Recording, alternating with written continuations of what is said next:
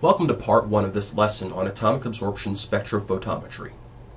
Our main goal in this lesson is to provide you with a general understanding of an atomic absorption spectrophotometer.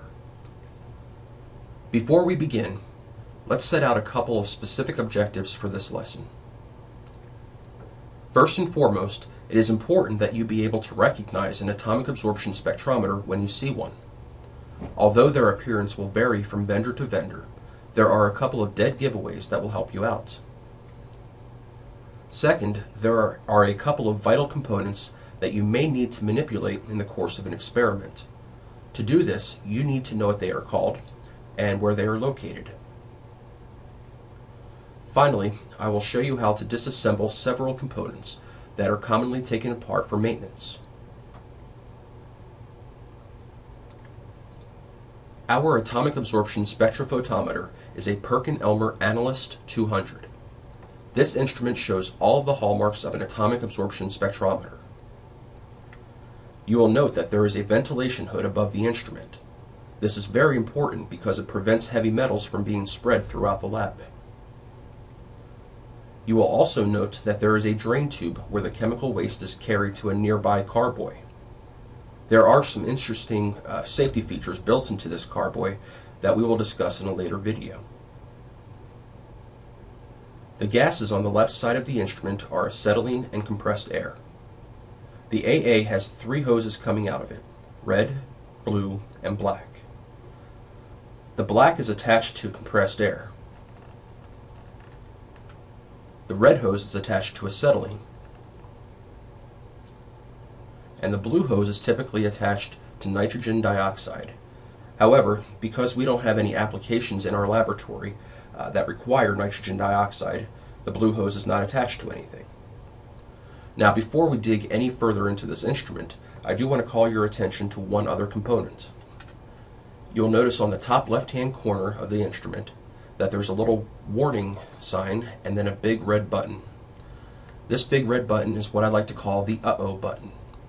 Uh, this button will actually extin extinguish the flame in the instrument uh, when the computer stops responding.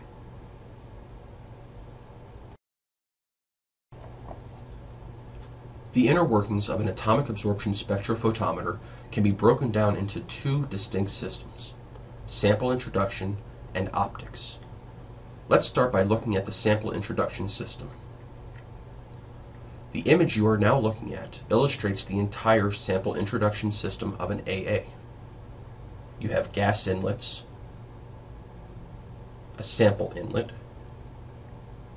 a spray chamber, and a burner. In atomic absorption, aqueous metal solution is drawn into the nebulizer via the Venturi effect due to the gases flowing through it, in this case acetylene and air. Within the spray chamber, a fine mist of sample is produced, with the bulk of the sample solution being routed to a waste container.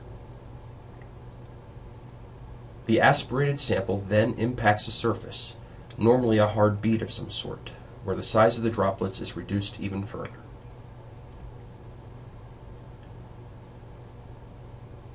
This material then passes through the baffles. The baffles are the impeller-looking objects seen here in the picture, and these uh, baffles will stop all but, all but the finest of droplets. The sample, along with the flammable mixture of gases, is then fed to the burner, where the mixture is incinerated. As you can see, the burner head can be removed and replaced.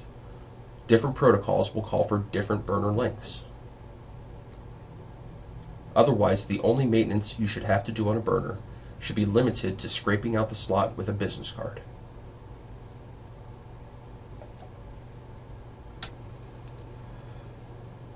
The optics are the part of the instrument that controls the light being passed through the sample, selects the wavelength, and detects how much light has been absorbed. The optical system begins with the HCL, or the hollow cathode lamp. This is a very expensive consumable and should be handled with great care. These lamps are special because they are considered spectral line sources. In other words, they only produce wavelengths that correspond to the absorptions of a given metal. Each lamp is typically only capable of analyzing one element. However, there are a couple of multi-element lamps out there. We will talk more about these lamps in another video. The picture you are looking at right now is the insides of an older Perkin-Elmer AA spectrometer. While the layout is a little bit different from our service model, the design is very similar. First, notice the location of our sample introduction system as illustrated by the red box.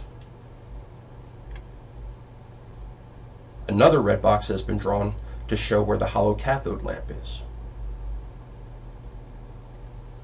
The yellow boxes indicate the presence of half mirrors.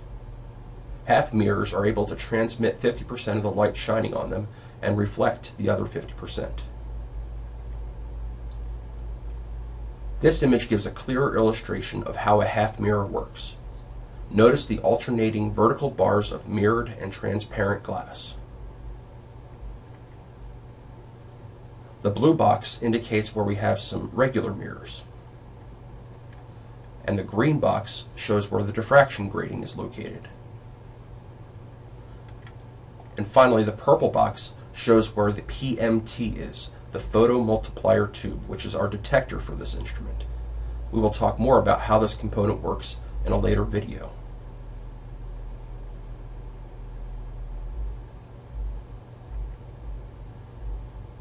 Now if we track the path of light from the hollow cathode lamp to the detector, we notice something curious.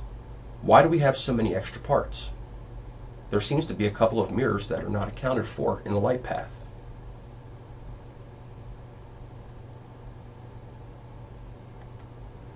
It turns out that this spectrometer has a reference lamp, as well as the uh, hollow cathode lamp, and they combine with the light from the hollow cathode lamp and ultimately make their way to the detector. As illustrated here, it would appear to be quite complicated. However, there is a shutter system that is motor operated, allowing the system to oscillate very quickly between measuring the reference and the sample.